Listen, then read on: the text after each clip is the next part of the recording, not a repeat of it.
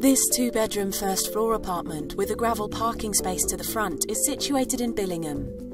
Inside, the lounge encompasses a coal effect fireplace with a timber surround and an attractive back panel and hearth. Moving through the property, the kitchen comprises a range of modern wood effect base and eye level units, tiled splashbacks, and a half bowl single drainer sink unit with a mixer tap over. Continuing through the accommodation, there are two bedrooms, including the master, with two built in wardrobes and a bay window overlooking the front of the property.